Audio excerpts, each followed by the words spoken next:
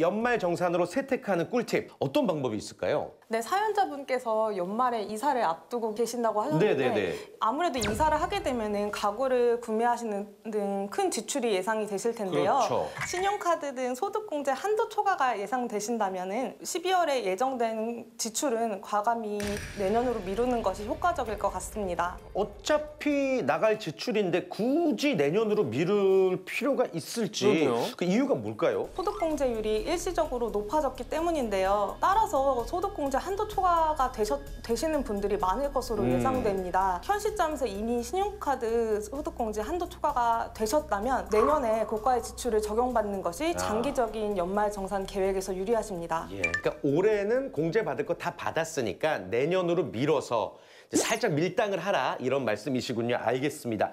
그런데 소득공제 한도를 넘겼는지에 대해서 우리가 이걸 어떻게 알 수 있는 걸까요? 네, 뭐 그 국세청 홈, 홈택스에 들어가 보면은 연말 정산 미리 보기라는 서비스가 있거든요. 네, 이걸 조회해 보시면 내가 1년 동안 어떻게 지출을 하셨는지 다 확인을 하실 수 있는데 어, 신용카드 소득공제는 15% 네. 그리고 체크카드는 30%이기 때문에 이를 잘 적절히 배분해서 사용을 하시는 게 중요하다라고 얘기를 할 수 있을 것 같습니다. 오늘 사연자분은 진짜 알부자 연구소의 문의를 잘하신 것 같아요. 사연자분 외에 많은 직장인들의 귀가 활짝 열리셨을 것 같은데 연말 정산 꿀팁 등이 오늘 쏙쏙 나오고 있습니다. 끝까지 시청 부탁드리겠 고요.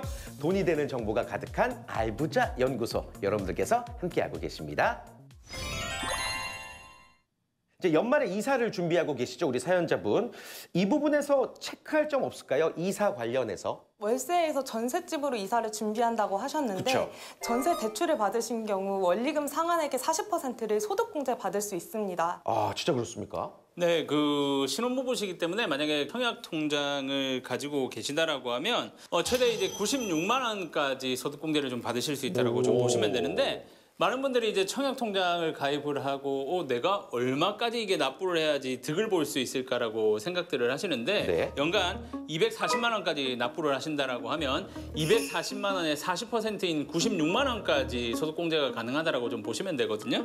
저축 목적으로 가입을 하신 분들은 오히려 고금리 뭐 적금 통장을 활용하시는 게 유리하다라고 좀 보시면 되고요. 예. 어, 이렇게 그 소득공제 혜택을 받으시려면 연 소득이 7천만 원 이하여야 되고요. 무주택자여야지 가능하다라는 점도 꼭 인지를 하셔야 될 것 같습니다. 그리고 소득공제 외에 또 세액공제 항목을 우리가 살펴봐야 될 텐데 세액공제가 가능한 항목 그리고 또 어, 불가능한 항목 등을 우리가 구분을 해봐야 되겠죠. 세액공제가 가능한 항목은 의료비 세액공제, 교육비 세액공제 등이 있습니다. 세액공제 항목 중에 연말정산 간소화 서비스에서는 조회가 되지 않는 항목도 있습니다.